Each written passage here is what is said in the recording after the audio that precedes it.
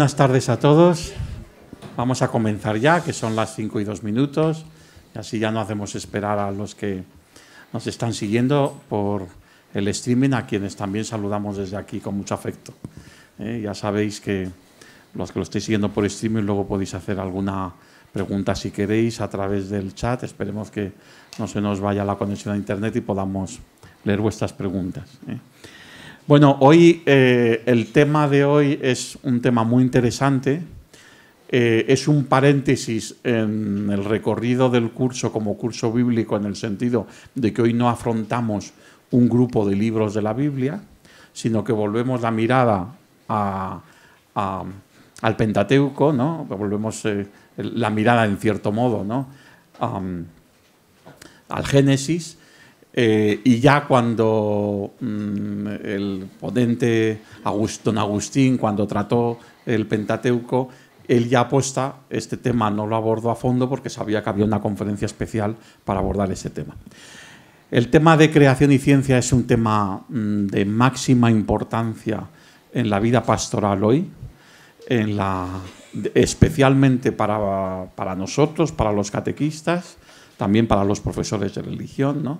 Porque sobre este tema hay mucha confusión. Entonces muy, era muy interesante que, aprovechando el curso bíblico y por tanto que íbamos a hablar de la, de la revelación de la creación en el Génesis, el que hiciéramos referencia también a, a este tema. ¿no? Eh, quien nos va a hablar hoy, pues si todos los ponentes que hemos tenido hasta ahora y los que vienen después, pues son magníficos, como ahora me estabais diciendo, pues el de hoy es un crack. ¿eh? El ponente que tenemos hoy es un crack. Eh, eh, me parece que, enseguida veremos también la, no solamente por es importante eh, el abordaje que él va a hacer de este tema por el tema en sí mismo, que es muy interesante, sino también por la manera de, de proponeroslo, que seguro que va a ser, pues eso, claro para todos nosotros. ¿no? Eh, Jos- José es doctor en filosofía por la Universidad Pontificia Gregoriana en Roma.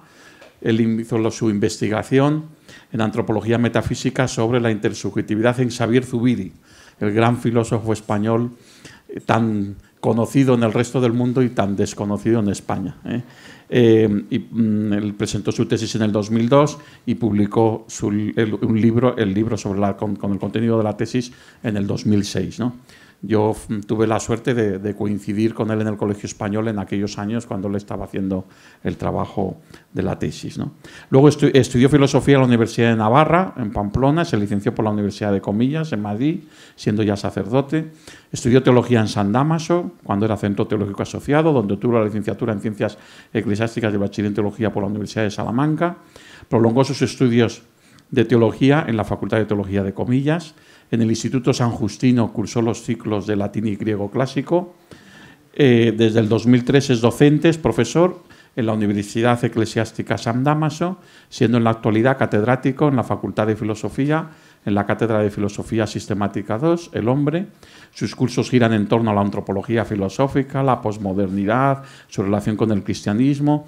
También ha colaborado en el mm, eh, Colegio Misionero de Japón, no me atrevo a decir el nombre porque lo voy a- Takamatsu. Lo voy a decir mal, pues. y eh, el seminario de la Archidiócesis de Trujillo, en Perú, y también en el Instituto Juan Pablo II para la Familia de Alcalá de Henares. También es director de la Oficina de Investigación y Relaciones Internacionales de la Universidad Eclesiástica San Damas. Bueno, podría decir muchas más cosas, pero ya son suficientes. ¿no? Lo importante es que es sacerdote, teólogo, filósofo y especialista también en todos estos tem- temas que yo me atrevería a decir que son temas de vanguardia en el diálogo con la cultura de hoy, de la fe con la cultura de hoy. ¿no? Entonces, bueno, pues eh, sin más, eh, ya le doy la palabra y, bueno, y poned mucho interés, tenéis el esquema, tenéis también, os hemos repartido, pues, porque es un tema muy interesante, si alguno quiere continuar y leer, pues tenéis en una hoja que se os ha dado dos libros publicados entre el año pasado y este año que tienen que ver con el tema del que nos va a hablar. y que os puede servir para quien quiera profundizar más, también tener un poco de bibliografía, siempre viene, siempre viene bien, ¿no? Que no falte por referencias, ¿no? Así que los catequistas tenéis muy poco tiempo, pero ya sabéis que una labor principal del catequista es la formación permanente y eso, además de los cursos, es también la lectura, Pues nada, con esto ya, mm, eh, José, te dejamos y muchísimas gracias por, por participar en esta. Pues muchas gracias a ti, Manuel, por la invitación. Siempre es un desafío, ¿no? hablar de estas cosas, porque son cosas que están siempre cambiando, porque el saber avanza. ¿no?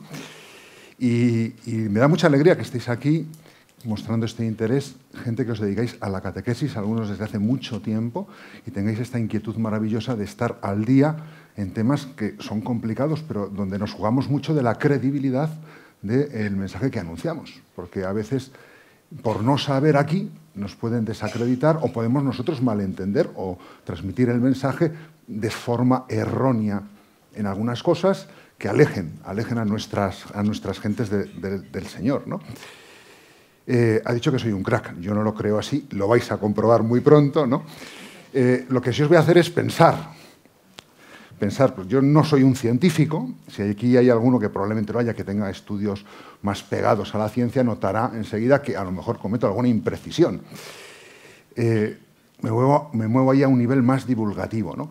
Yo de lo que sé es de filosofía, de, intentar pensar, y pienso escuchando también a la ciencia, que es una de las fuentes importantes de esa reflexión. Y lógicamente, en mi caso, desde la fe, que no la dejo a un lado, sin hacer teología, pero intento ser fiel a la fe.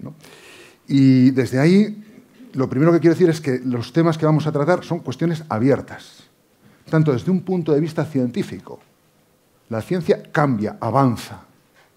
Acordaos, por ejemplo, Plutón. ¿Os suena, no? Mucha gente sigue pensando que es un planeta.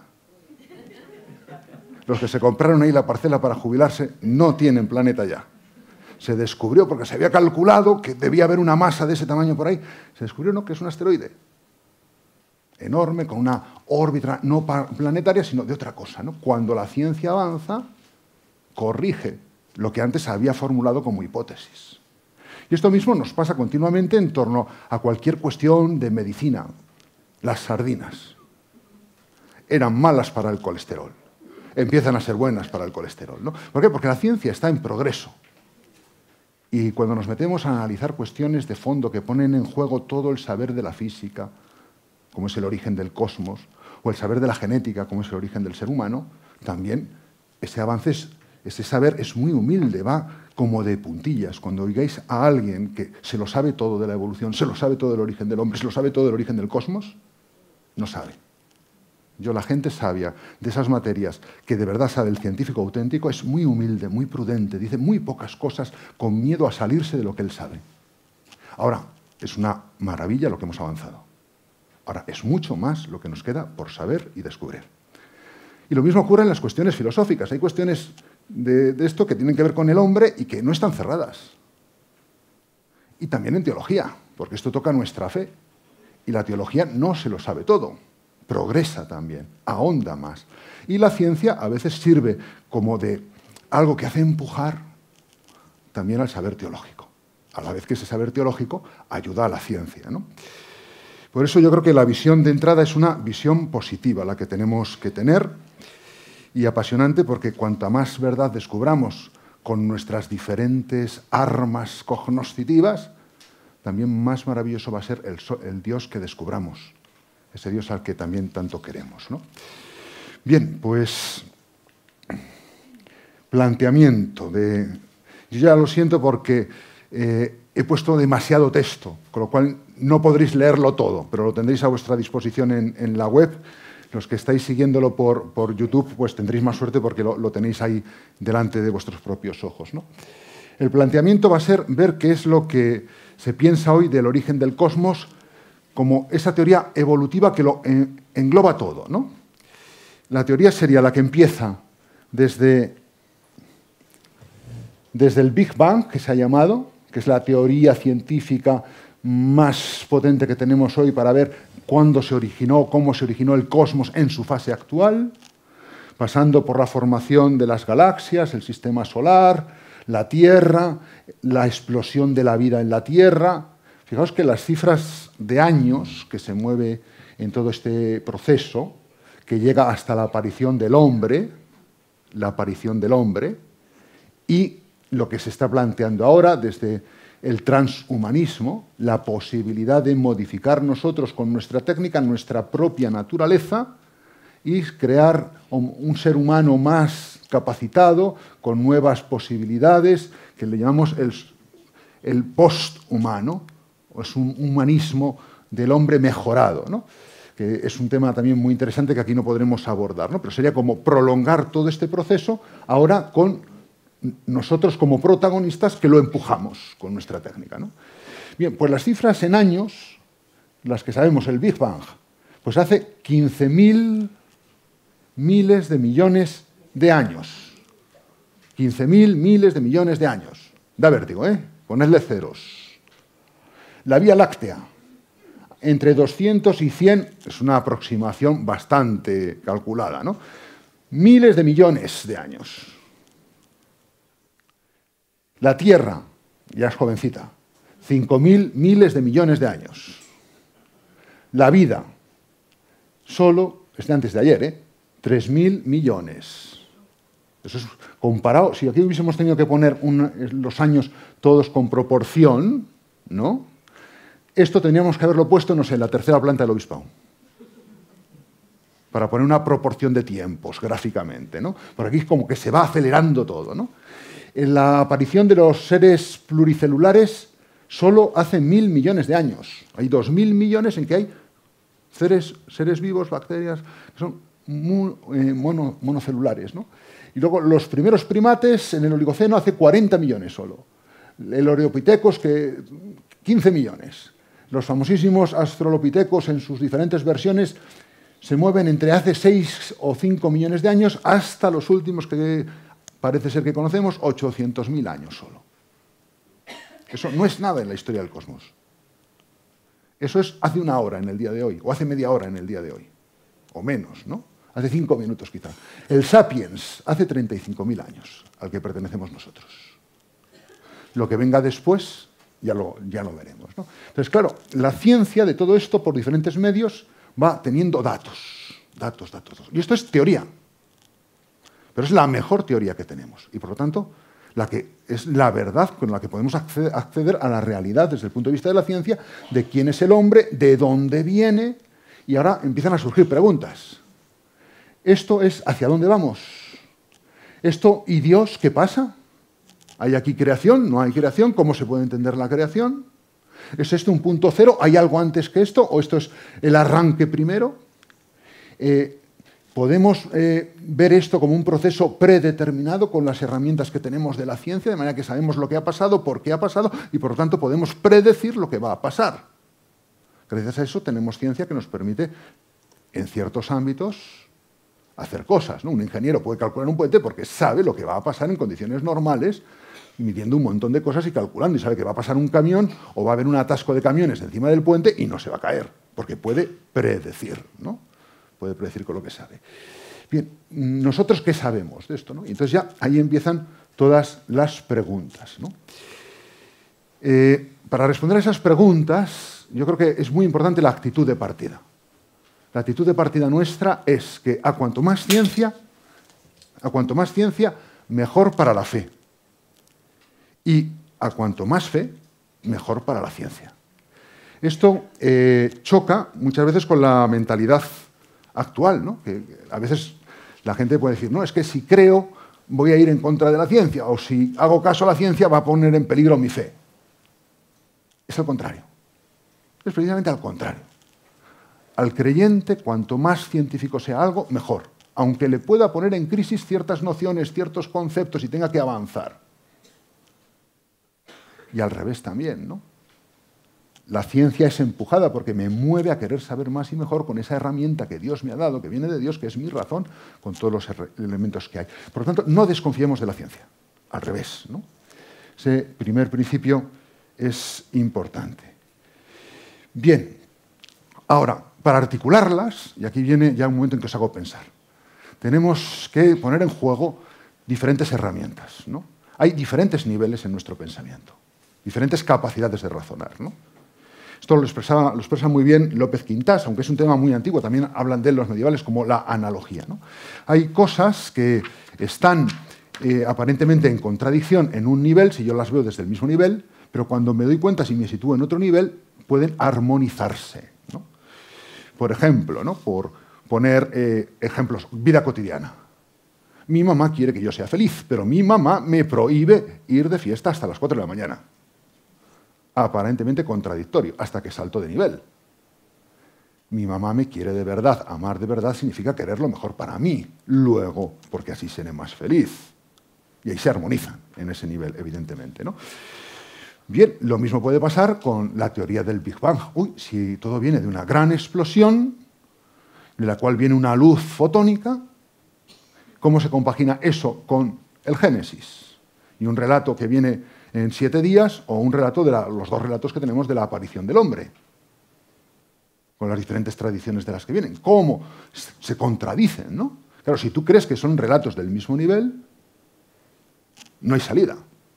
Tienes que cambiar a otro nivel, hacer una hermenéutica, en la cual descubres lo que te quiere decir la ciencia, que habla desde la ciencia y describiendo solo el cómo, a lo que te dice la Biblia, que te habla de verdades permanentes, profundas, que te dicen quién eres y qué papel juega Dios en esa identidad. Y que toca la misma realidad, la misma verdad, pero desde un ámbito distinto, y que es perfectamente compaginable con la auténtica verdad científica. Ahora, si yo las mantengo en el mismo plano, hay choque. Hay que pasar al otro nivel. ¿no? Lo mismo puede pasar, por ejemplo, cuando estudiamos al hombre y vemos las realidades biológicas, psicológicas que mm, tenemos. Nuestra genética, nuestras neuronas, que son las dos hoy más importantes desde el punto de vista de este tema, de la evolución y la creación, ¿no? como las neuronas prácticamente las necesitamos para todo. Y como en nuestra genética está prácticamente escrito todo lo que vamos a ser o poder ser. ¿no? ¿Cómo se compagina eso con realidades espirituales como el amar, la decisión libre, la responsabilidad ética o la capacidad de creer en Dios? Si tú piensas que son del mismo nivel, te van a chocar y te vas a encontrar neurocientíficos que empiezan a dejar de ser científicos, se convierten en pensadores filosóficos y dicen, no, tú crees en Dios porque tienes un gen que te ayuda a ser más piadoso. O hay unas neuronas específicas para favorecer eso, ¿no? Estos nos hemos encontrado por ahí, ¿no? O también te puedes encontrar creyentes que se pongan de uñas ante el Big Bang, la evolución, porque ponen en peligro mi fe, porque yo tengo que atenerme a lo que Dios me dice en la Escritura, y eso es una descripción científica. Mira, no, no es una descripción científica, es otro tipo de relato. ¿no? Entonces tengo que hacer hermenéutica para captar de verdad lo que me dice la ciencia y captar de verdad lo que me dice la Escritura. Si no, traiciono a la ciencia y traiciono a la Escritura. ¿no? Lo mismo puede ocurrir, por ejemplo, en el tema de materia-espíritu, ¿no? Que es el tema de la persona, voy a un campo filosófico, con el tema del papel de Dios. Yo veo, los que sois mamás y papás, habéis tenido un hijo, el hijo es vuestro. Lo normal es que se diga, no, nosotros pusimos el cuerpo y vino Dios y puso el alma, la infundió, ¿no? No, el hijo es totalmente vuestro y es totalmente de Dios. El biólogo ve cómo se juntan los gametos el filósofo descubre que solo con lo biológico no se explica todo lo que hay ahí. Porque como de eso que es puramente biológico material surgen cosas como el amar, la responsabilidad, etcétera, etcétera, etcétera. Hace falta otro tipo de principio, que no es biológico. Pero ¿cómo lo puedo descubrir? No biológicamente. Tengo que cambiar de nivel. Ir al nivel filosófico, y remontarme a una causa creadora. Por eso hablamos, en el caso de la reproducción humana, no de reproducción exactamente, sino de procrear, porque descubrimos que hay una colaboración con Dios. Ahora, ¿cómo es? Como si hubiese gametos más Dios. Y entonces hacen falta tres causas que concurren ahí a un mismo plano. No. La acción biológica está en un plano y la acción de Dios, desde dentro y en la profundidad, eleva eso vamos a decirlo así en una primera aproximación. Pero son planos distintos, no son mismo plano. Por lo tanto, el biólogo, que mira con ojos de biólogo, solo va a ver lo biológico. Y el filósofo, no todo filósofo, pero puede llegar a ver el otro plano. y en un plano de discusión o de diálogo interdisciplinar se pueden poner de acuerdo sin llegar a chocar. Bien, entonces esto lo tenemos aquí puesto, por ejemplo, ¿no? como en la experiencia común, pues podemos comprender el hombre y el animal ¿no? y ver la diferencia. Nosotros que vivimos en ciudades lo tenemos a veces un poco más difícil porque personalizamos mucho los gatos, los perros, todo, ¿no? Forman uno más de la familia. Si vives en un pueblo, esto es muy evidente. La bestia es la bestia, no la confundas. La vaca, el caballo, los que están ahí, no me digas que son como las personas, por Dios. ¿no? la experiencia distingue. ¿no? Ahora, las ciencias empíricas me van a ver esto con una teoría de la evolución, con las neuronas, con las ciencias físicas, un mundo muy específico. Pero me están hablando de lo mismo, pero desde, otra perspectiva. ¿no? Y el saber filosófico. El saber filosófico tendrá en cuenta la experiencia común, las ciencias empíricas, pero se pregunta por la ciencia. ¿Qué es la ciencia? ¿Qué es lo que ella me cuenta? ¿no? Eh, o la filosofía de la naturaleza. ¿Qué es esta naturaleza de la que habla la ciencia? Esa pregunta no es científica. Está más allá de la ciencia. Es una pregunta filosófica. Hace falta un discurso filosófico distinto. O sobre el hombre, la antropología filosófica. ¿Quién es el hombre del que habla la ciencia y me cuenta que ha evolucionado, que tiene neuronas, que tiene genes? ¿Quién es el hombre? Entonces, estos planos, junto con el saber que nosotros tenemos por la fe, el saber teológico, quién soy yo y qué es el mundo a la luz de Cristo, tienen que dialogar y entre todos meterse en el misterio. O sea, complicado. Maravilloso. Lo simple suele ser, al final, en estas cosas, reductivo. ¿no? Sin embargo, la riqueza de lo que es el hombre y también nuestras aproximaciones lo que nos permite es gozar más. Ahora, nos puede poner nerviosos. ¿Por qué? Porque no llego a entenderlo del todo. O me desborda lo que hay que saber, ¿no? Pero bueno, lo importante es ver que se pueden, pueden colaborar en una misma tarea, ¿no? Bien, vista, visto el planteamiento, vamos ahora a puntos clave. Una serie de puntos clave que me pueden servir para eh, entender luego lo que la ciencia me dice y articular bien en creación y evolución. Entre estos puntos clave voy a poner cuatro nociones. Y vamos a seguir este orden. La materia, como algo abierto a Dios, la acción natural, conforme a las leyes que la biología estudia, el tema de la espiritualidad y trascendencia, que desde la experiencia común la filosofía es capaz de percibir, y todo ello en algo que es la unidad de lo que somos nosotros. A mí me gusta mucho decir eso con la palabra carne. Se puede decir con la que se quiera, persona, hombre, lo que sea. A mí me gusta la palabra carne porque es la del Nuevo Testamento y el verbo se hizo carne, que tiene unas resonancias muy bonitas, ¿no? Y también porque es la que usa un amigo mío que fue mi predecesor en San Damaso, que es el profesor Alfonso Pérez de la Borda. Bien, la materia. ¿Qué decimos de la materia? La materia no es solo lo que me dice la ciencia. La ciencia que hace, mide y pesa la materia, la mete en fórmulas, en números. No sé si alguien ha estudiado físicas, pero todos habéis estudiado alguna vez algo de física. ¿Os acordáis de las fórmulas, del movimiento ondulatorio? ¿Os parece eso la materia, la carne que tocamos? Está súper abstraída. Esa es la materia que estudia la ciencia. Estudia un aspecto, que es el que yo puedo expresar de esa manera. Y con eso hacen maravillas, entre ellas calcular el Big Bang, los telescopios que hemos mandado al espacio, todas estas cosas. ¿no? Pero no olvidemos, es solo una parte de la materia, la que puedo expresar con números y fórmulas. La materia es mucho más. La materia tiene un espesor. Y la materia es capaz de expresar. ¿no? Fijaos lo que hacemos con la materia. ¿no? Eh, con la materia hacemos la segunda sinfonía de Beethoven, con la que se murió escuchándola, creo que fue, ¿quién fue? Pío XII, creo que fue el Papa que dijo, poned, estaba agonizando, ponedme la segunda sinfonía de Beethoven. Eso es materia, se puede reproducir, la metemos en un compact disc o en un lapicero, en un aparato bueno de música y lo reproduce. Sin embargo, es solo eso, pero la materia es capaz de eso o la materia es capaz de expresar algo como es la caricia de la Madre Teresa a un moribundo. Claro, eso es verdad lo que dice un científico. Sí, mira, aquí hay un conjunto de feromonas que pasan por los tejidos epiteliales de uno a otro, que produce una sensación de alivio en el enfermo y una sensación de placer en la persona que le está acariciando. Entonces, ¿por qué no todo el mundo se dedica a acariciar moribundos? Lo cual no quiere decir que no pase eso de los tejidos epiteliales en fricción. Claro que pasa, por supuesto, y sin eso no habría cercanía de la Madre Teresa al moribundo. Pero la materia es capaz de acoger eso e ir más lejos. El materialismo, esta es una noción un poco difícil, el materialismo ama poco la materia. Porque se cree que la materia es solo los números. Y la materia es mucho más. Es capaz hasta de acoger para nosotros creyentes al verbo. Es capaz de acoger en una forma al verbo. Para nosotros la materia, eso nos limpia mucho los ojos. Nosotros amamos la materia mucho más que los materialistas. La materia en ese sentido está abierta. ¿no? La gente dice, no es que la materia por su autonomía se resiste a la acción de Dios. Es lo contrario. Lo que pasa es que están en planos distintos.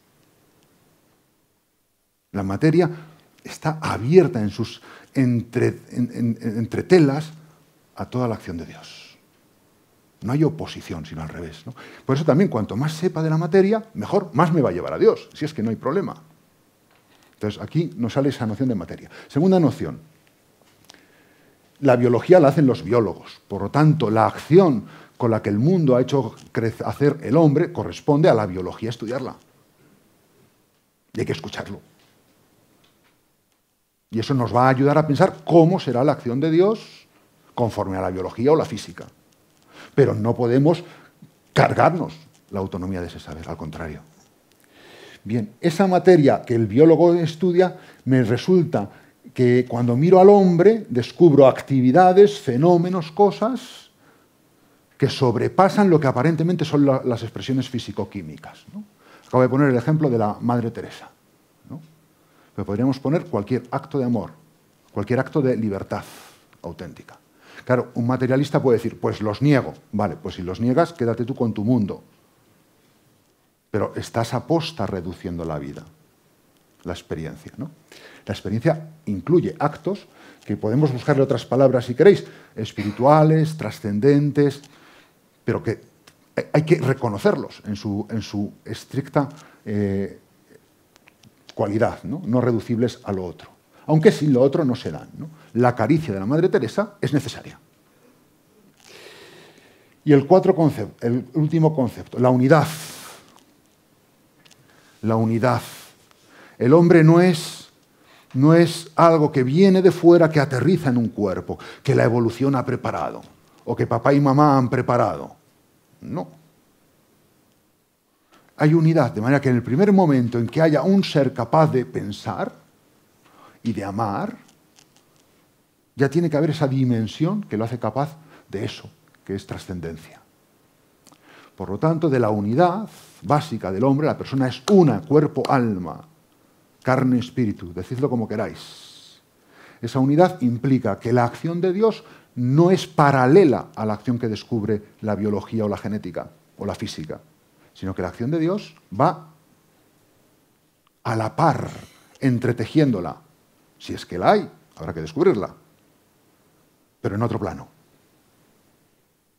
En otro plano. Desde ahí es desde donde podemos plantearnos la cuestión de la creación.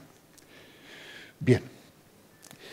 Ahora, eh, en estos puntos claves, ¿qué significa creación y desde dónde hablamos nosotros? Y aquí me imagino que esto lo sabéis todos y, demás, pero aquí por lo menos tenéis algunos datos básicos que pueden servir para esto. Es mostrar cómo la noción cristiana de creación no está cerrada ni a la teoría del Big Bang, que a lo mejor dentro de 50 años descubren los científicos otra mejor, ¿eh? Pero de momento es la verdad que tenemos, ¿no? O a lo mejor dentro de un mes, porque las cosas se aceleran, ¿no? O la teoría de la evolución es la que tenemos. Bien, pues eh, una frase de un libro de Novo que tenéis ahí en el papel que os ha dado Manuel, ¿no? Si nos aferramos a un Dios ingeniero mago, es misión imposible defender a Dios y la creación. Pero defender la creación, según Ratzinger, no es eso. Es defender únicamente que ese universo en devenir está lleno de significado, porque procede de una mente creadora. Es decir, el mismo mundo, la misma teoría del Big Bang, lo que yo soy capaz de hacer como ser humano al, captar eso, nos está mostrando que alguien tiene que haberlo pensado. Si no, no tiene sentido. Sostener que hay una creación es que eso tiene sentido, que eso es comprensible, inteligente. Y, por lo tanto, ya vendrá nuestra reflexión, depende de alguna manera en su radicalidad totalmente de Dios.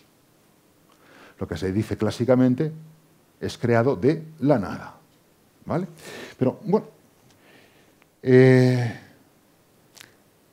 la ciencia, ¿qué es lo que hace? Nos cuenta la historia natural, la naturaleza que ella ve. ¿Cómo lo hace? Pues mediante las leyes deterministas que va encontrando y va formulando en sus hipótesis y con una cosa que a nosotros nos suele poner nerviosos y luego la discutiremos con ella más, el azar. El azar.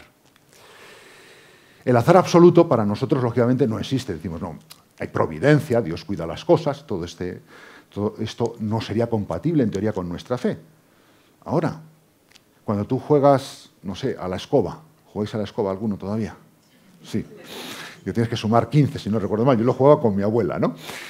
Cuando repartes las cartas, ¿está predeterminada las cartas que te van a tocar? Un cientificista determinista te diría, no, porque el roce de la baraja, la grasilla que llevan acumulada, tu mano, tu cansancio, si yo pudiese predecir todas las veces que se ha jugado con esa baraja, todas las personas que la han tocado, si yo supiese todos los variables, podría predecir qué carta va a salir. Bueno, agotador raya a veces el ridículo. ¿no? Pero es lo que te dicen los, no los científicos, ¿eh? los cientificistas predeterministas. Todo sería predecible. Yo podía predecir por qué tú vas a entrar en el seminario, por qué tú ibas a ser catequista, por qué no sé qué. Si yo supiese todas las variables, como yo las controlo, podría no adivinar, predecir qué vas a desayunar mañana. ¿Vale? Ahora todos decimos, no, hay azar también. Hay causas accidentales, cosas que no pasan de manera necesaria. Hay cosas que pasan, sí, tienen sus causas, pero pasan accidentalmente. ¿O no? Bien. A eso podemos llamarlo, si queréis, azar limitado. Son espacios de azar limitado. ¿Quién es un buen jugador de dominó? El que es capaz de más o menos en su cabeza ir controlando las cosas, ¿no? Mejor jugador de dominó es quien, aun habiendo ese azar que hay, ¿vale? Bien, ¿qué Dios es más grande? ¿Un Dios que no da espacio al azar? ¿O un Dios que es capaz de amar y ser providente, aun dando espacios auténticos de azar? Siempre limitado, claro porque si no estaríamos en una cosa que es irracional, absurda y demás. Estos mismos científicos que la ciencia cuenta son leyes junto a azar, no es puro azar, es azar y necesidad, las dos cosas. Pero un azar limitado, esta noción a lo mejor alguno chirría un poco, un azar limitado no contradice la providencia. Es más, yo creo que engrandece a Dios si es que ha sido así. Pero si ha sido así, no le corresponde a la filosofía ni al teólogo decirlo, le corresponde al científico. ¿Vale? Bien, la religión, la fe, ¿qué me cuenta? Me cuenta la historia de la salvación. ¿Y ahí qué es lo que me cuenta? Un diálogo de mi libertad, la libertad del hombre con la libertad de Dios. Son planos distintos. Tengo que tener la clave para saber dónde se encuentran. ¿Dónde se van a encontrar? En que este mundo que la ciencia me desvela como es, es amado, querido, sostenido, protegido por Dios. Y la criatura humana que está ahí también. Pero no chocan. Bien. Y algunos textos del Magisterio. Humane Generis, 1950. Admite estudiar el evolucionismo, siempre que no se pase a una ideología evolucionista o materialista. Pero ya admite en 1950 Pío XII que puede haber una teoría de la evolución compatible con la fe. El Concilio Vaticano II, en Gaudium et Spes, cuando habla de la dignidad de la persona humana, consciente de que estas teorías han ido creciendo mucho más, sostiene sin ningún tipo de problema que eh, el hombre es creado a imagen de Dios. Lógicamente en un contexto en que la evolución ya es mucho más extendida, ¿no? Y que el hombre, participante de la luz de la inteligencia divina por virtud de su propia inteligencia, es superior al universo material. Está marcando decir, vale, evolución, sí. El hombre, desde nuestra fe, tiene una dignidad que es compatible con esa evolución y que tenemos que saber mantener. Este segundo punto, también un filósofo, aunque no sea creyente, sería capaz de mantenerlo. Todos los que defienden los derechos humanos, aunque sean ateos ateísimos, defenderían eso sin ningún problema. Juan Pablo II es el que aborda, quizá de una manera directa, el diálogo con la evolución más es puntual, pero, pero más a fondo. ¿no? Eh, él, incluso las teorías evolutivas le llevan a revisar la teología de la creación, la noción de creación y admitir un tipo de creación continua. Proponer que se piense eso desde la teología. ¿Qué ha pasado con ese Big Bang hasta el hombre? A ver si la acción de Dios creador no es una acción puntual, como la estamos pensando nosotros desde aquí, sino desde Dios sí, es hágase, pero desde nosotros ese hágase puede ser temporal. Pensémoslo, teólogos. ¿Da dolor de cabeza?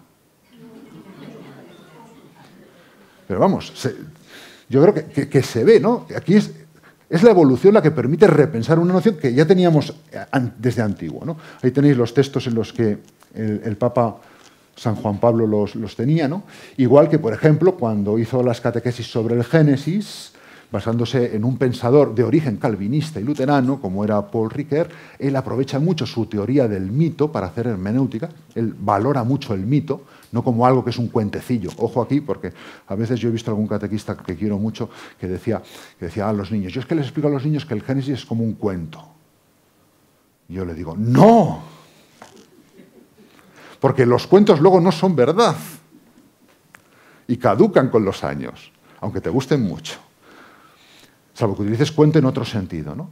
El mito es un relato que cuando, el mito según Riquet, que cuando mi razón no es capaz de expresarlo con términos absolutamente lógicos, cartesianos, de fórmulas, hay cosas que me sobrepasan y el mito me permite decirlas y hasta cierto punto tocarlas un poquito. De manera que me llega, me llega me lleva a poder tocar una verdad que de otro modo no tocaría. O sea, el mito no es menos verdad, sino donde se me acaban mis capacidades, el mito me da un poquito más. El mito es racional, forma parte de mi inteligencia.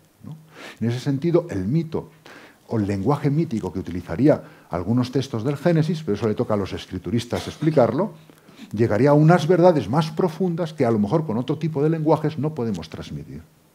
Bueno, esto en la experiencia lo tenéis parábolas de Jesús. No son mitos, ¿eh? pero es otro tipo de lenguaje.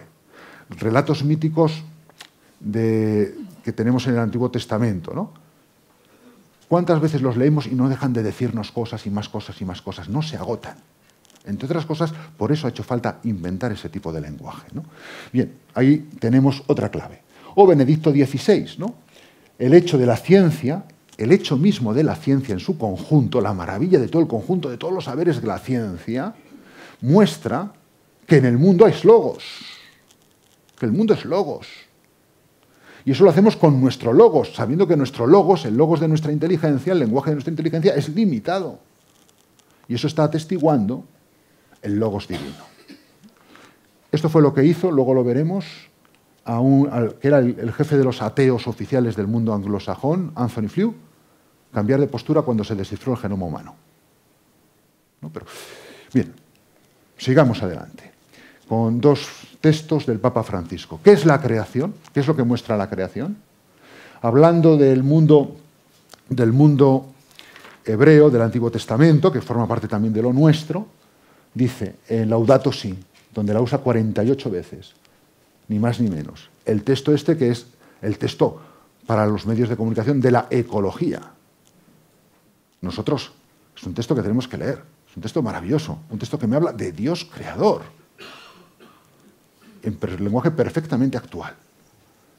Decir creación es más que decir naturaleza, porque tiene que ver con un proyecto del amor de Dios, donde cada criatura tiene un valor y un significado. Es otro plano del científico, pero no se contradice con él. El universo, esto ya es aplicado a Jesucristo y a nuestro tiempo, el universo no surgió como resultado de una omnipotencia, cuando nosotros decimos, yo creo que Dios es creador, ¿no? lo que estoy diciendo es que el mundo no surge de una omnipotencia arbitraria, de una demostración de fuerza o de un deseo de autoafirmación. Lo que estoy diciendo es que la creación es del orden del amor. El amor de Dios es el móvil fundamental de todo lo creado. Cuando yo utilizo la palabra creación, estoy utilizando un lenguaje para decir, el mundo es bueno, lo que dice el Génesis. Dios lo ama. Esto es amable. Por lo tanto, es defendible. Es más, debo defenderlo y debo cuidarlo. Enriquece tu mirada no solo con una razón de dominio, que es la que a veces los cientificistas y la tecnocracia tienen. Yo lo domino, he descifrado las fórmulas de la materia, puedo conocer un material súper resistente, súper elástico, un no sé qué, un no sé cuántos, ¿no? Lo controlo, lo dominio, una razón de dominio. El, mundo es solo naturaleza, el hombre es solo naturaleza, lo domino, lo controlo, lo manejo, lo manipulo, lo pongo a mi servicio. Esa es la mentalidad tecnocrática, el paradigma tecno tecnológico. Frente a eso, el paradigma de la creación te permite captar, oye, el mundo es belleza, el mundo es amado, el mundo te necesita para que lo cuides. El mundo te habla del que lo ha hecho. El mundo es la casa común. Y eso es muy nuestro.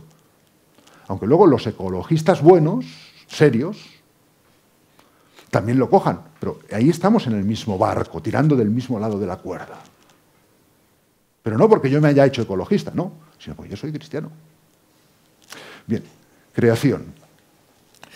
Bien, desde aquí esto es un poquito más complicado y ya no vais a ver nada, ni pretendo que lo veáis. ¿eh? Yo lo voy a resumir. Eh, desde aquí, los errores típicos, y pongo tres errores típicos de cada cosa.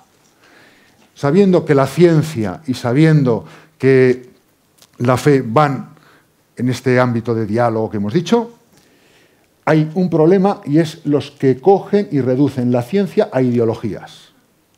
Estos no son, científicos, son otra cosa. Y yo los agrupo en tres grupos, en tres ideas fundamentales. Los materialistas, los cientificistas y la ideología evolucionista. Esto no es lo que me dice la ciencia. Son gente que escuchando lo que dice la ciencia coge un trocito parcial y lo exagera del todo. ¿Qué me dice el materialista? Que todo es pura materia, y nada más que materia, y esa materia reducida a las fórmulas que la controlan. Eh, desde ahí, pues, lo que tendríamos es azar y necesidad como Jean Monod, ¿no? y ya está. Un mundo de leyes que es muy difícil compaginar con la incoherencia de un azar poderoso. La otra ideología, la cientificista el único saber serio es la ciencia positiva. Los otros saberes no cuentan. ¿no? ¿Qué pasa con este tipo de postura? Solamente va a estudiar lo que dice la eficiencia, lo que yo puedo hacer con la materia a través de la eficiencia. ¿Para qué están las cosas? La finalidad, no lo sé. La belleza queda fuera, la forma. ¿No? y eh, como consecuencia eh, los cientificistas piensan que ellos van a poder explicarlo todo. Solo ellos. Todo lo que te pasa a ti, por qué quieres a tu hijo, por qué quieres a tus niños de catequesis, por qué tal, tal, tal, todo eso lo voy a poder explicar. Con neuronas, con psicología, con genética, con sociología. Voy a conseguir explicar todo eso. Porque solo es eso la única herramienta que yo tengo para saber y esa herramienta lo puede todo. Que no lo sé ahora, vale, dame tiempo, lo sabré. ¿Os fijáis de la trampa? Dame tiempo, lo sabré. ¿Es eso ciencia? ¿Es eso ciencia? La ciencia es cuando lo sé. Mira, sé esto, a fecha de hoy. ¿Qué te están pidiendo? Un acto de fe. ¿En qué? En que lo sabrás. Esa es la trampa del cientificismo, una de ellas. Bien, la, otra trampa, la de la idea evolucionista. La idea evolucionista es una trampa, ¿por qué? Porque entiende los datos de la evolución, que son verdad, como si hubiese una especie de fuerza de serpiente que va recorriendo los siglos buscando manifestarse. Aquí mi amigo Alfonso Pérez de la Borda lo hace muy bien. ¿Qué es el árbol de la evolución? Todos habéis visto el árbol de la evolución, ¿no? Es una historia. Ese árbol no existe hoy. Es un árbol que tiene sus raíces, su tronco, sus ramas, sus hojas. Las hojas últimas es lo que existe hoy, ¿no? Sí. Pero las ramas y demás ya no existen, existieron. ¿Qué es lo que toda la humanidad, con todo su esfuerzo, con la arqueología, con la biología, con la genética, con los viajes, con todo eso, lo hemos puesto en, un saber, es un árbol del saber, de cómo ha sido nuestra historia hasta hoy. Pero no es una fuerza que va por ahí buscando a ver dónde me lleva. No, lo único que hay es el presente. ¿Se comprende esto? La ideología evolucionista lo que piensa es la serpiente que va a lo largo de la historia produciendo cosas. ¿no? La ciencia no te dice eso. Eso te lo dice un ideólogo evolucionista. La teoría de la evolución no te dice eso. Te dice cómo han pasado las cosas y cómo pueden pasar, que es mucho. Pero eso otro ya es una filosofía ideológica. Bien, si nosotros huimos de eso, estaremos bien y tendremos la ciencia.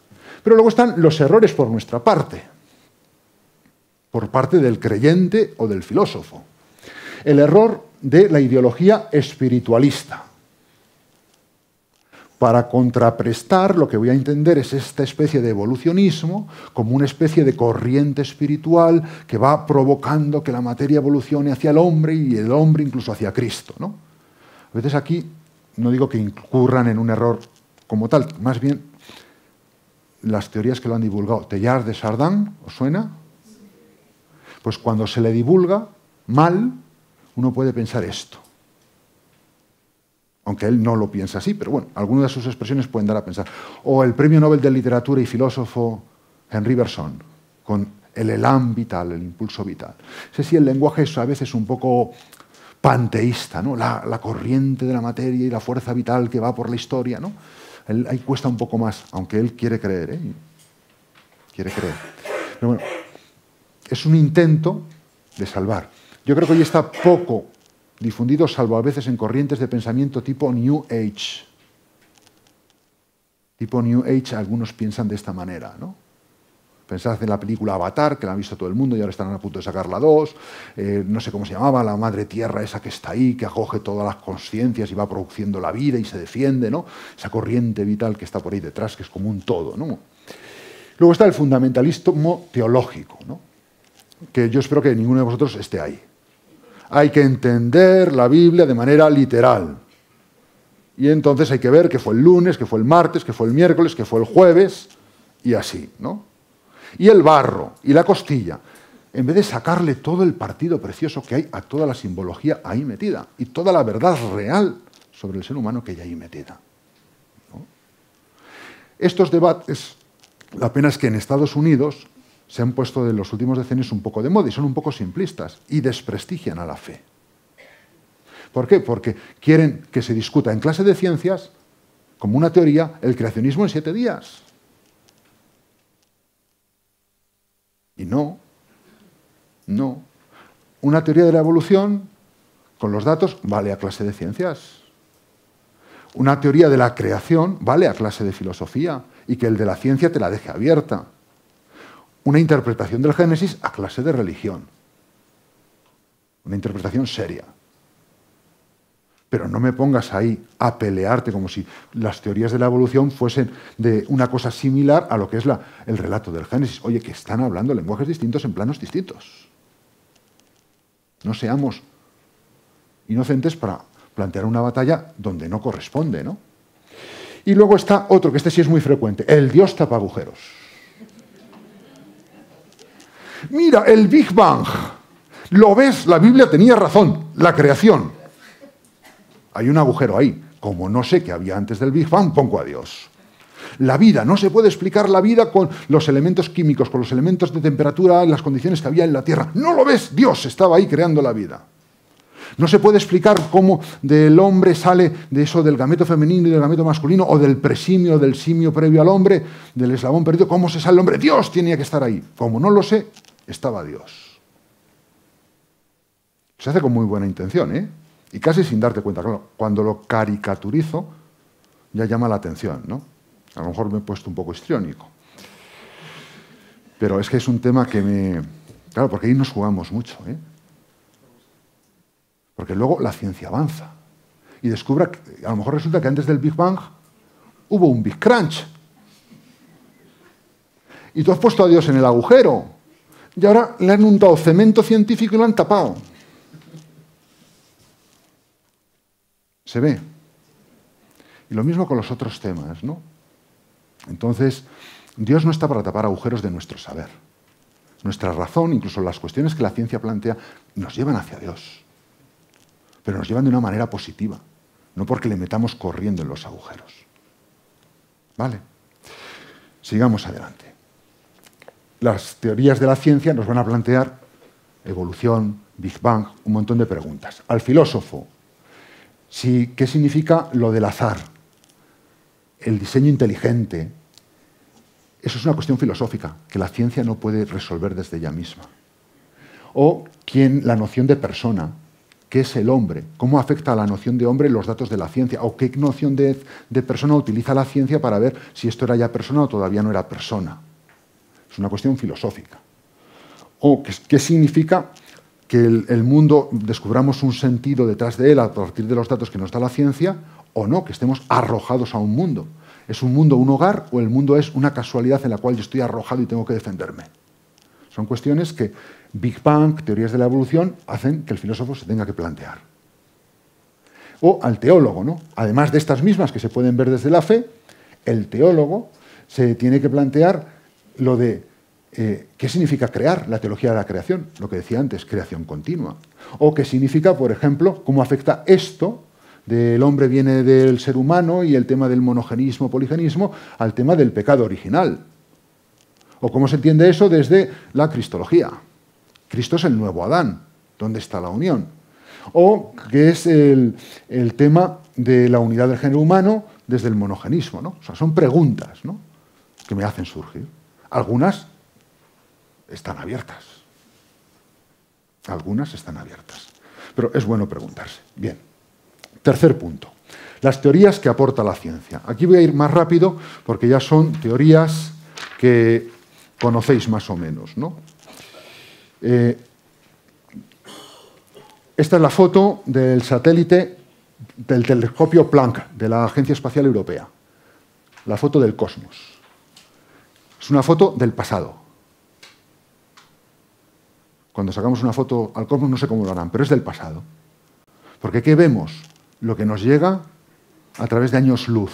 Es decir, esa luz ha tardado en llegar a nosotros años y años luz. Es una foto del pasado. Y entonces aquí y aquí, dicen los que saben interpretar esto, está lo más antiguo, lo más cercano al origen, abajo y arriba. ¿no?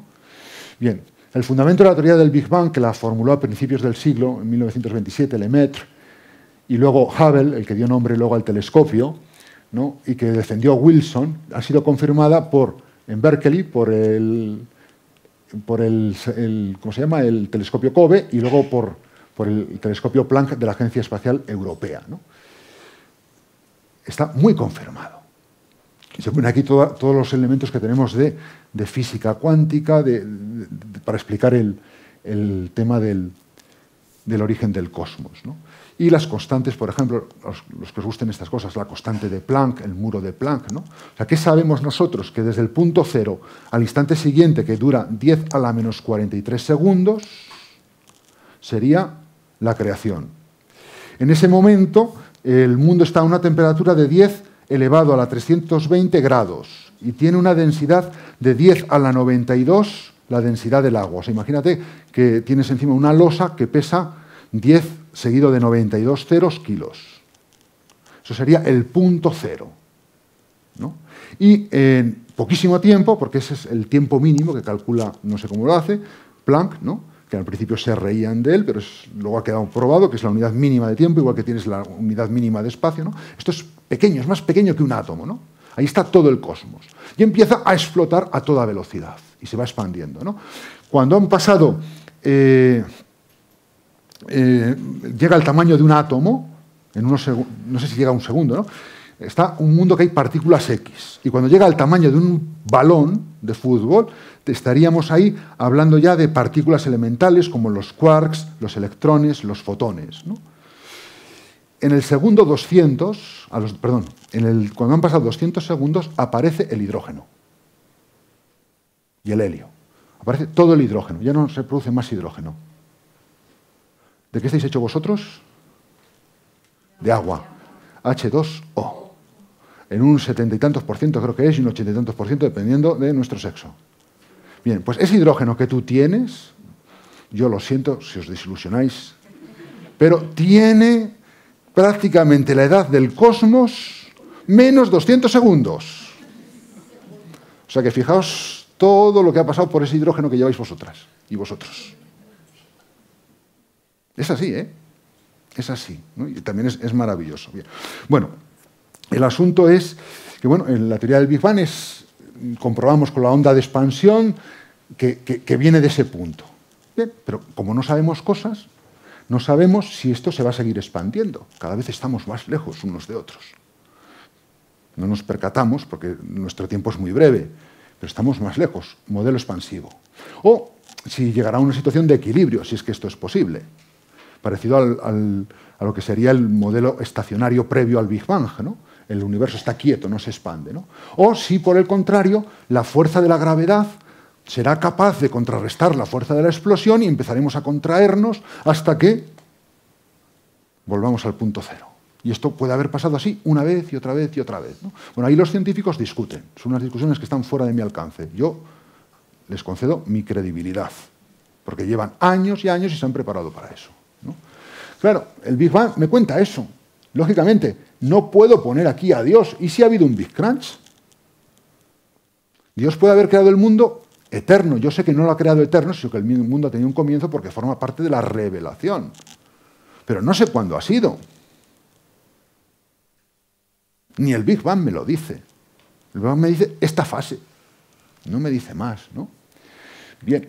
O la vida, ¿no? La explosión de la vida fue hace 3.000 o 2.000 millones de años, ¿no?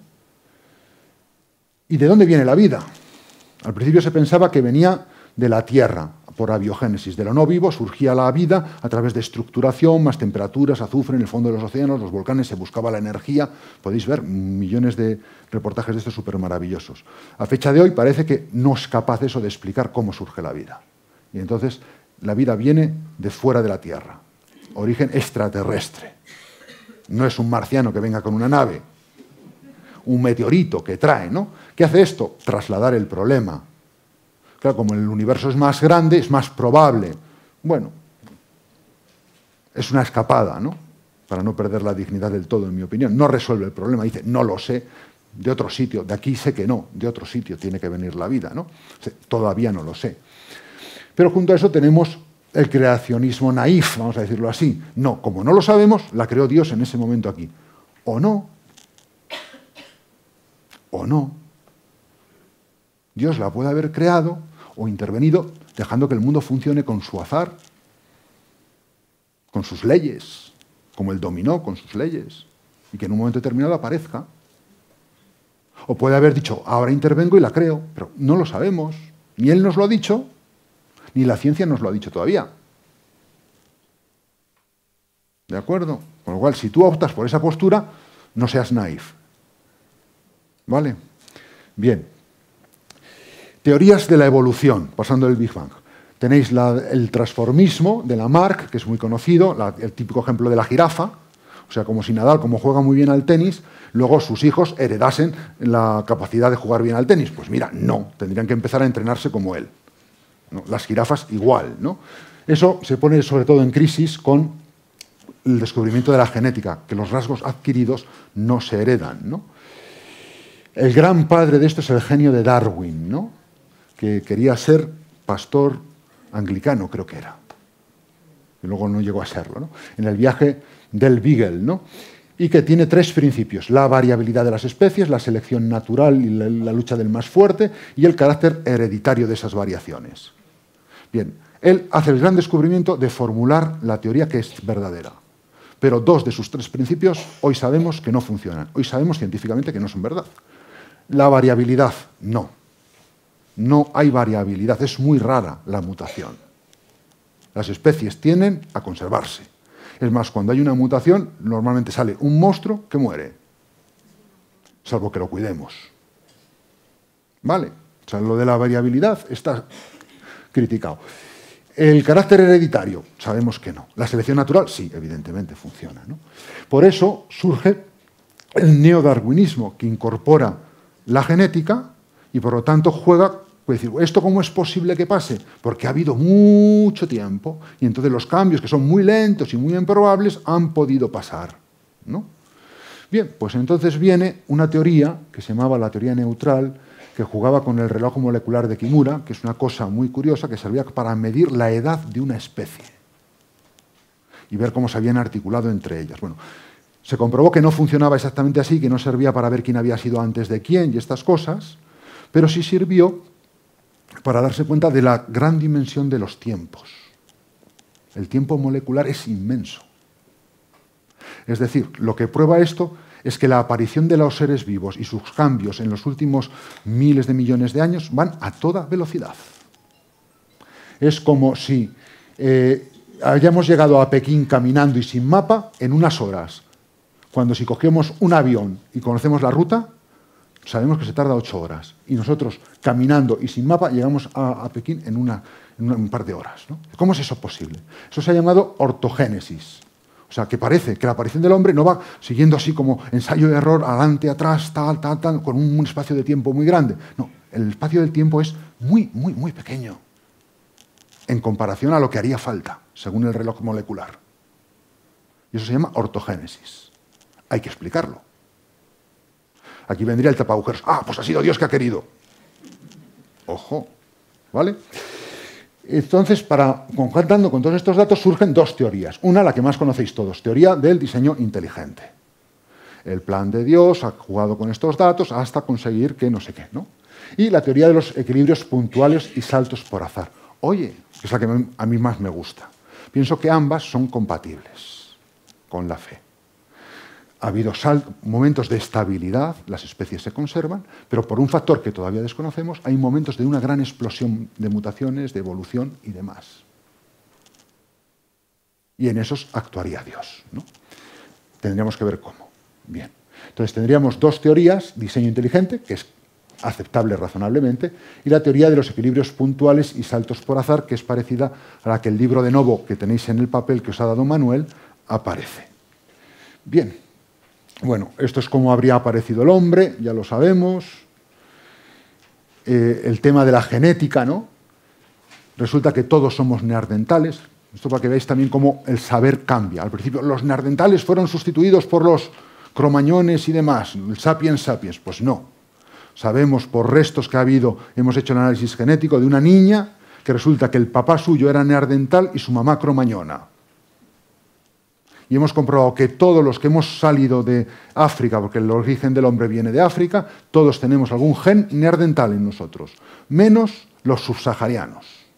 Los subsaharianos no son neandertales nada. Los demás algo tenemos de neandertales. Eso genéticamente se sabe. Eh, eso se hace gracias a la genética y entonces se descubre que por el cromosoma Y del hombre y por el ADN de las mitocondrias de las placentas de los embarazos, después del parto, se estudia y se llega a ver que había una Eva, la llaman así los científicos, mitocondrial, y un Adán genético.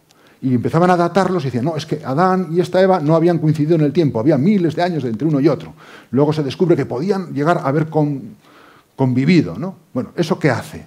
Pues nada, decirnos que hay genéticamente una unidad, y esto es muy importante, una unidad de los seres humanos. Pero eso no significa que hubiese un solo Adán, podía haber habido varios, ni una sola Eva, podía haber varias. ¿no? Le dan ese nombre a los científicos por la imagen, la simbología bíblica que está muy extendida. Pero no están diciendo existió Adán y existió Eva, los genes, no.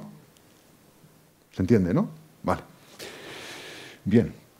Este sería un poco el mapa. El hombre empieza en África, se extiende primero hacia África y desde ahí va pasando, primero hacia Asia, luego hay aquí un, volcán que destruye la comunidad, pero luego viene por aquí hacia la Polinesia y Australia, y por aquí cruza Bering antes de la glaciación, y, llega por aquí a América y se va extendiendo por América, y al mismo tiempo se va extendiendo hacia Europa, y luego la glaciación mata a los que había por aquí, pero luego lo repueblan, ¿no? Pero en el fondo se puede hacer como un trazo de cómo el ser humano originado en la zona del lago Victoria, en la actual Kenia, la humanidad se ha expandido desde aquí, y desde aquí ha ido evolucionando, ¿no?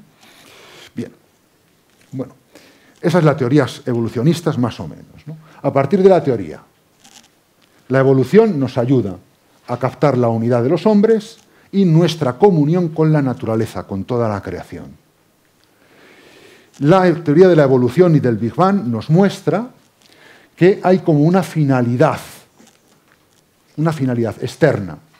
Es decir, el mundo de hecho ha sido de tal manera que aparece el hombre y ha sido de tal manera que ha hecho posible que aparezca el hombre. Pero solamente puedo decir eso desde fuera. Eso no significa que sea buscado. Pero científicamente los hechos son que han hecho posible que aparezca el hombre tal y como es. Y si no hubiesen sido las cosas como han sido, no existiríamos ni el mundo hubiese sido como es. Luego también descubrimos una teleología, una finalidad interna en la genética. ¿Cómo llamamos al ADN? ¿Cómo llamamos? ¿El qué genético? El genoma humano, otro nombre. El código genético. Código un código biológico, un lenguaje en el cual está diseñado todo lo que va a venir después. Eso es lo que hizo que este, Flew, ateo, que combatía a Luis en Oxford y ha dado, ha sacudido, pero muy bien además, porque combatía mucho a los tapagujeros, y eso me gustaba, muy ateo, un día, pensando sobre el genoma humano, fiel a su filosofía, dice, claro, es que, es que no puede ser. Si el genoma es verdad, si esto es verdad, esto implica que hay alguien que ha hecho posible ese código, alguien que ha codificado. Lo contrario es absurdo. Y se hizo teísta, no creyente, ¿eh? no tuvo fe. Teísta, admite que existe Dios. Porque si no, lo del ADN no hay quien lo entienda. Sería absurdo. Y fue a un programa de televisión en Estados Unidos que iba un obispo protestante, iba él, a defender a los ateos, y muy sincero, porque era un hombre muy sincero. Tengo, imaginaos que el Papa un día aparece y dice, señores, tengo que decirles que, aunque yo estaba de buena fe, lo que yo os digo no es verdad. Colapso, ¿no? No va a pasar nunca, gracias a Dios.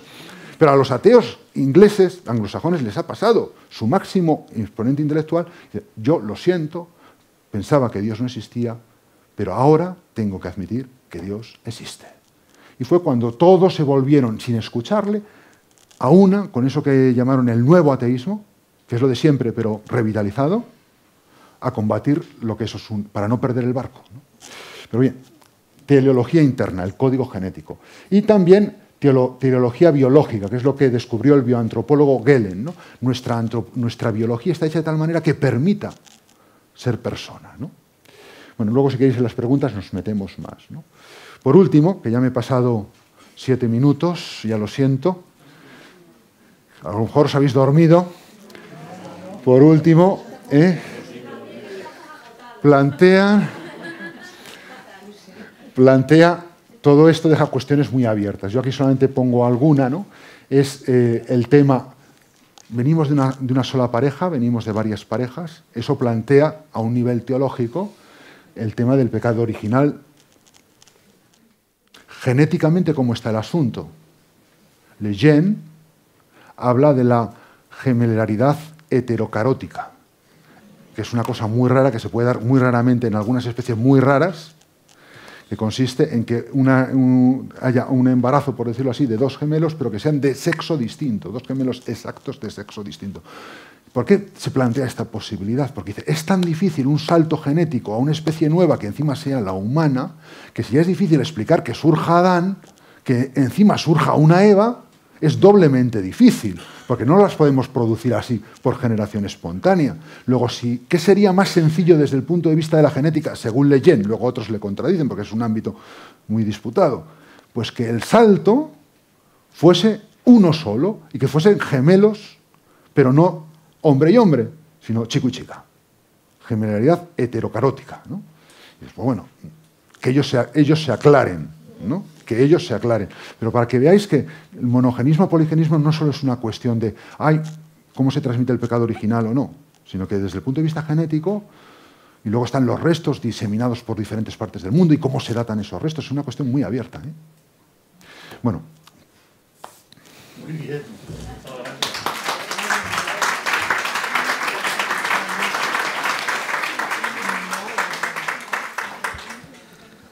Pues hay que reconocer que es apasionante este tema, ver, y que nos abre muchas, muchas perspectivas y, nos ayuda mucho a, a, entender más el misterio de, la, del cosmos y de, y de la humanidad.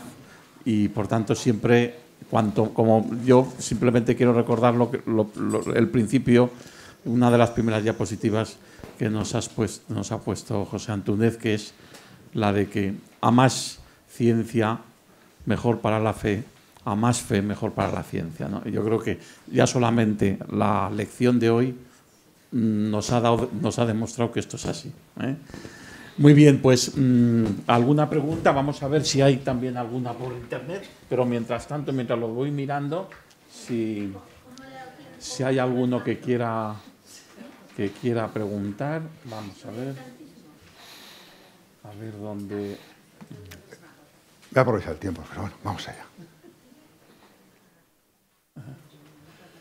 Sin miedo a las preguntas, ¿eh? No hay, no hay preguntas tontas, sino respuestas tontas. Sí, te llamas María Dolores. Es que yo he leído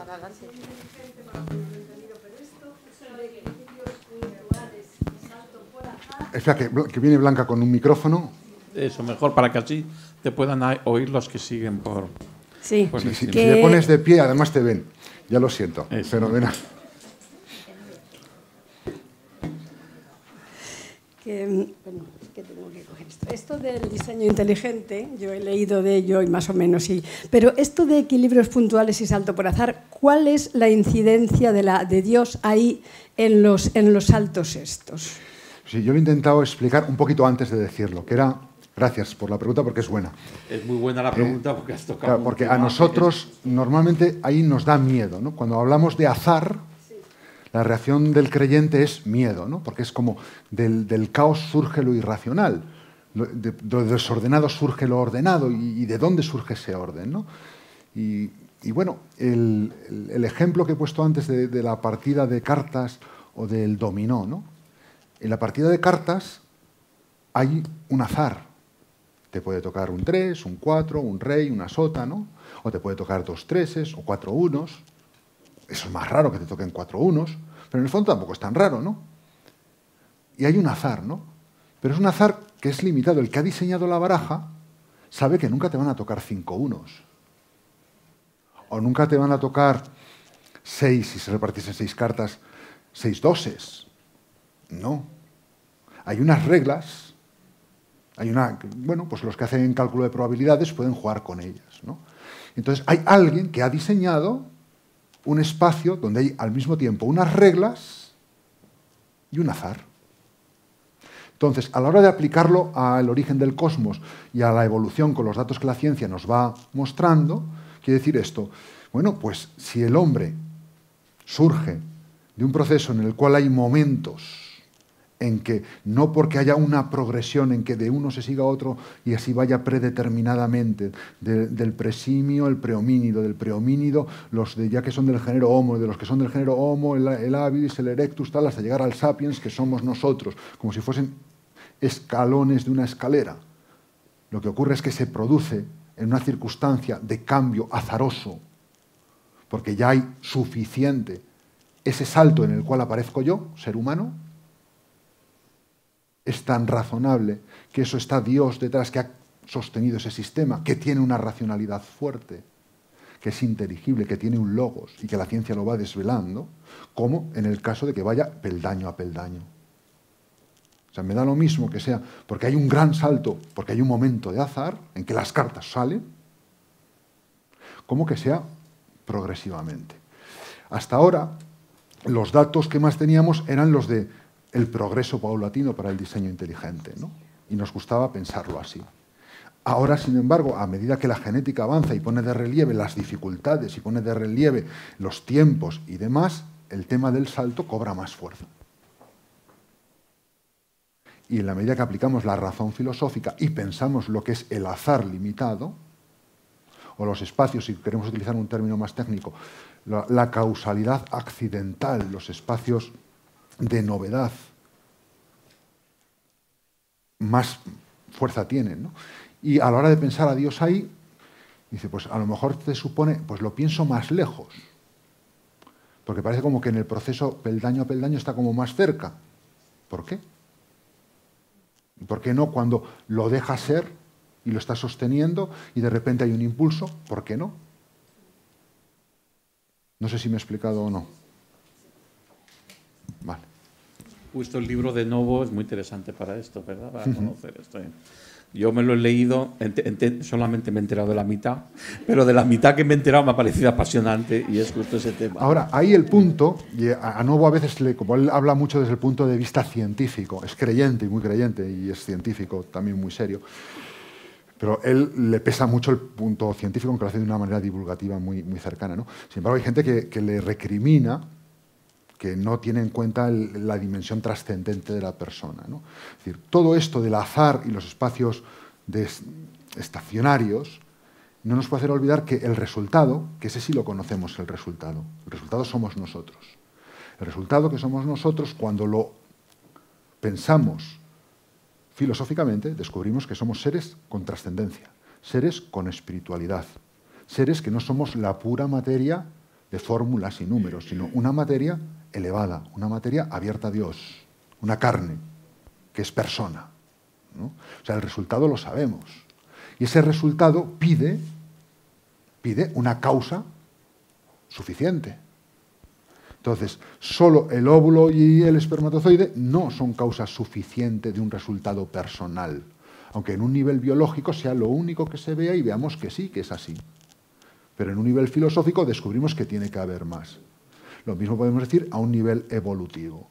Solo las causas biológicas de la evolución no explican el resultado de un ser personal, aunque esas son las que han sido y la ciencia va desvelando. Luego, si el resultado es un ser de carne, un ser con trascendencia, entre las causas tiene que estar la causa creadora. Ahora, ¿cómo? Jugando desde dentro, en un plano distinto, con la biología, con la genética. Y ese es el desafío que tiene que pensar el filósofo. Hay muchas teorías al respecto para pensar eso. ¿eh? Eh, Antes, un momentito, te pido un segundo porque así es que como tenemos preguntas, bueno, dos frases eh, que no son preguntas, pero que me parece importante leer. Eh, Estela, excelente trabajo para un tema con tantas y tantas aristas. Felicitaciones. Y luego Virgilia Gile Raiz, que dice, muchas gracias qué equivocada estaba en muchas cosas. eso está muy bien. ¿no? yo también me equivoco mucho. Muchas gracias a ellas. porque seguirlo aquí es duro, pero seguirlo de una pantalla una supone un esfuerzo muy grande. Y de, otra mm, eh, nos dice, hoy sí voy a preguntar. Mi nombre es María Eugenia y llevo solo dos años siendo catequista. Me ha eh, eh, parecido una ponencia estupenda y ahora ¿Cómo le explicamos todo esto a nuestros niños y niñas? Esa es la pregunta del millón. O de los 10 millones. Bueno, yo creo que ahí, lo que pasa es que ahí yo no lo, sé, ¿no? Pero eh, hay que estar muy al día de los materiales que en ciencias ellos manejan. Y eso es un trabajo que hay que hacer, ¿no? Tienes que saber antes de estos temas qué les están enseñando a los niños en las clases de ciencias en los colegios, sus profesores, ¿no? para captar la verdad que hay ahí y qué lenguaje utilizan ellos en cada, en cada edad, y tú desde ahí saber abrir el camino. ¿no? no es fácil, ¿no? pero es posible, ¿no? Es posible. Ahora, tenemos que eliminar algunos, algunos lenguajes, ¿no? el lenguaje del cuento, que ya lo he dicho antes, ¿no?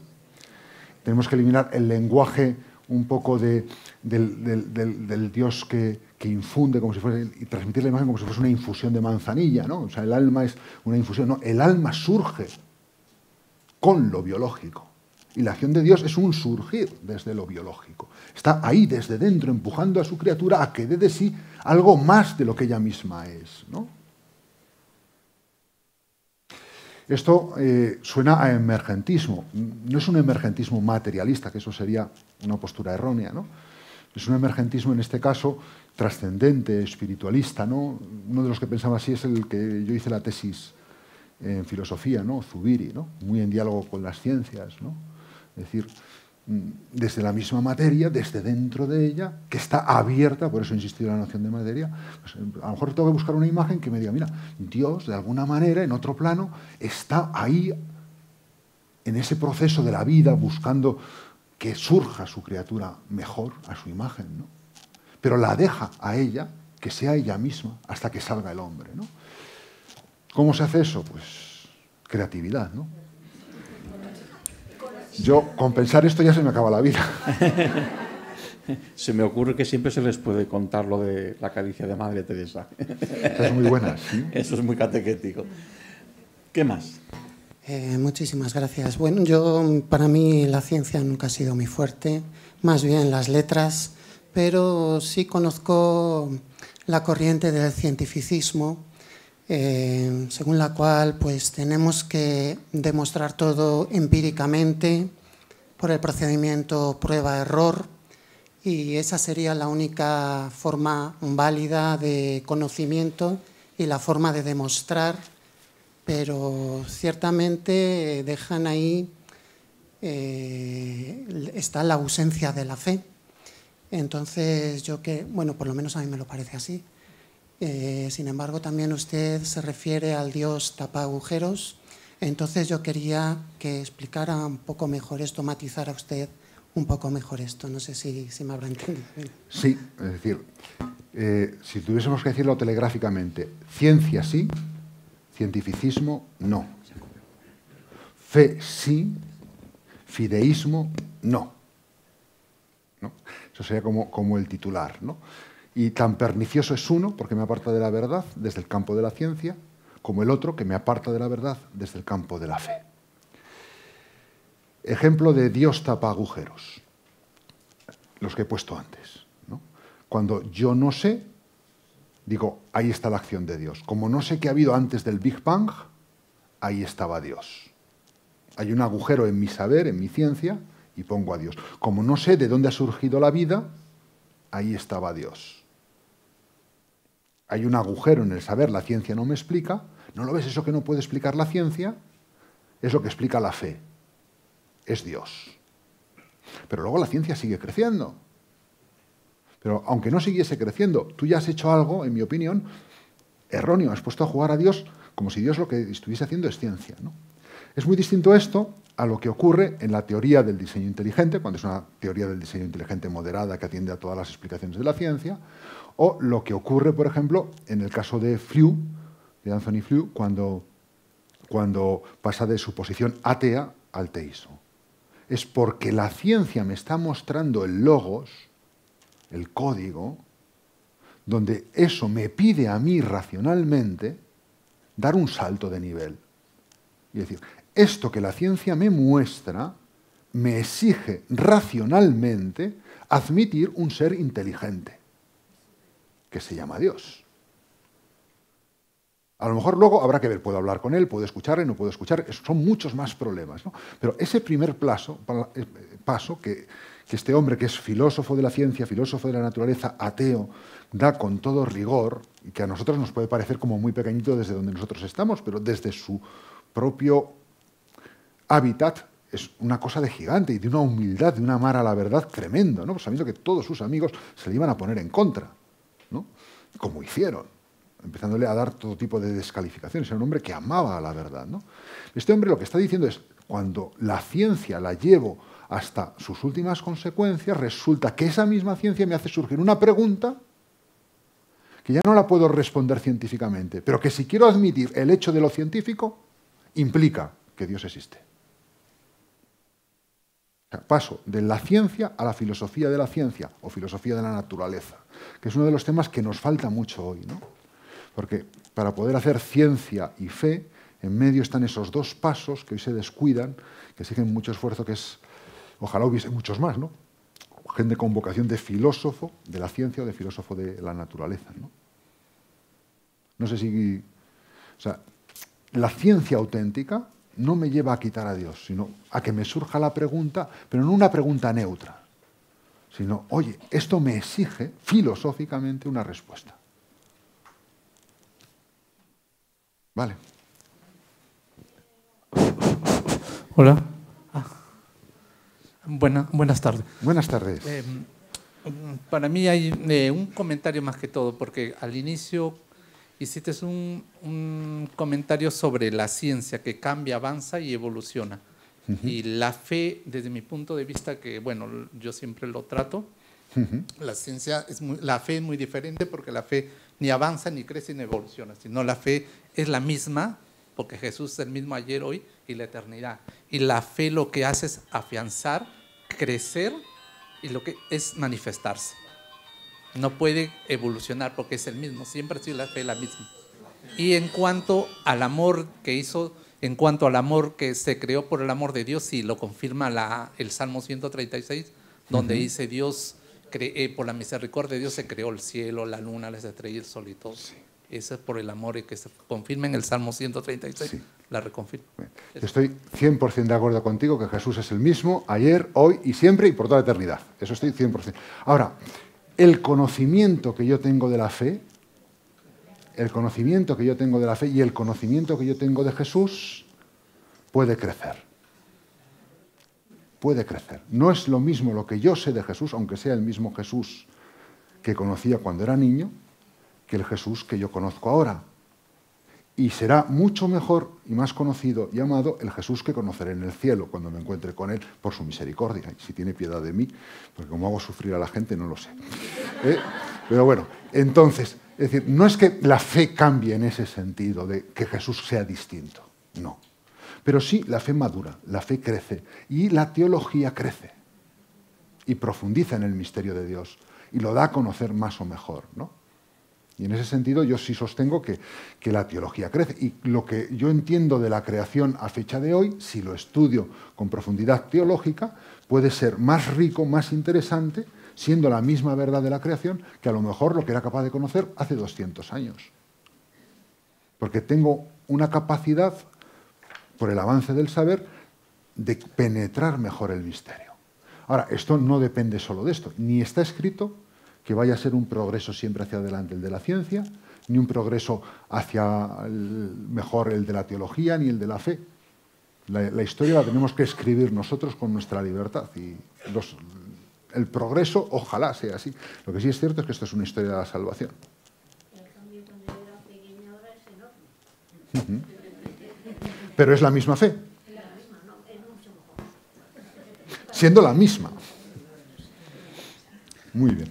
Teresa nos da, nos confirma que el conocimiento de la fe ha cambiado mucho en su. Muy bien. Eh, don José, gracias por, por tanta información. A mí me da por pensar, ya que estamos en ello, que no puede haber ciencia sin fe. Eh, o sea, al fin y al cabo, los hombres, eh, la mente es somos hombres, no somos finitos, no, no podemos abordar la ciencia sin abordarla desde la fe, ¿no? porque siempre vamos a cometer errores. Y a mí me, voy a, la Biblia. No puedo leer el Antiguo Testamento sin haber leído los Evangelios porque no tengo fe. no, tengo, no tengo fe en Jesús y no puedo abordarlos porque, porque voy a cerrar la Biblia. Entonces lo de la ciencia me recuerda un poco a eso, a, cómo voy a meterme yo en cosas de ciencia con mi pensamiento chiquitín sin tener fe. Pues voy a cometer errores. Bueno, todos podemos cometer errores, eso siempre. Ahora, eh, yo no tengo que tener miedo a la ciencia, sí tengo que ser humilde y saber distinguir el auténtico científico de una divulgación mala, por ejemplo, o incluso de una divulgación ideológica.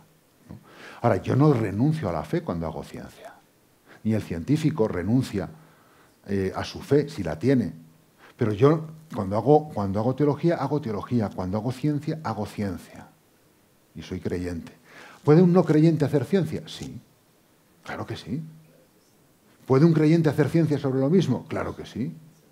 Y a ver quién es mejor, y a ver quién da más pruebas y demás. Para acercarme a Jesús, evidentemente necesito la fe. Un no creyente puede acercarse a Jesús de muchas maneras. Siempre su visión va a ser desde los planos de la literatura, de la historia, del pensamiento filosófico o ético de Jesús. No va a tener un conocimiento creyente de Jesús. Para eso necesita el don de la fe, ¿no? Pero eso ya es otra cuestión. Pero ¿puede conocer a Jesús un no creyente, un pagano? Sí, también. A otros niveles. ¿No? Vale. Muy bien. Pues yo solamente voy a decir una, una cosa porque puede ayudar también a... A veces cuando decimos esto de que estos planos distintos se desafían unos a otros, ¿no? Y que lo importante es que no se confundan, ¿no? Eh, esto es real, ¿no? no solamente que para el creyente la ciencia le ayuda como creyente, sino también para el no creyente la ciencia le ayuda a abrirse a la fe. Y esto que nos ha contado José del caso Fliu, a otros niveles ocurre, ¿no? Por ejemplo, un caso en España reciente. Lo que pasa es que los medios de comunicación esto no lo cuentan. Ramón Tamames, el gran economista, no es un científico, es un, es un gran experto en economía, casi toda su vida agnóstico, le ha interesado este tema del origen del universo, lleva años estudiándolo, acaba de publicar un libro sobre esto, está dando conferencias por toda España y él ahora no se considera agnóstico, sino que él cree que existe Dios y ha llegado a ese convencimiento a través de esta profundización en la ciencia. ¿no? confunde los dos planos, pero le ha provocado la, creer en la existencia de Dios eh, el, tomarse en serio y el profundizar, el entrar en el misterio de la realidad a través de la ciencia. Entonces, bueno, pues eso, eso, eso, es muy interesante. ¿no? Bien, pues yo creo que ya nos lo tenemos que dejar. El próximo, el, el próximo jueves, como sabéis, tenemos Mm, eh, una ponencia, la del próximo jueves, es, eh, yo no voy a estar porque tenemos una reunión en Jaén de los delegados de catequesis de toda España y entonces como, como estaré, si, si, fueran de Madrid como son normalmente me escapaba, pero desde Jaén va a ser más complicado. Pero el, próximo, volvemos al Antiguo Testamento, ¿eh? en, en la próxima ponencia, que es la oración del pueblo elegido tema precioso, los salmos. ¿eh? Los salmos importantísimos. Y va a ser Francisco Pérez Sánchez, ¿eh? el que nos va a hablar de esto, ¿eh? teólogo, especialista también en Biblia, es el, coordinador además de catequesis, muy vinculado a la delegación de catequesis, el coordinador de, la vicaría de la vicaría sexta, el que va a dar el que va a dar la ponencia. Entonces va a ser muy muy interesante y yo pues os, digo que, que no faltéis los que estáis queriendo seguir todo el curso. Y yo creo que, aunque le hemos aplaudido antes, pero se merece otro aplauso, José.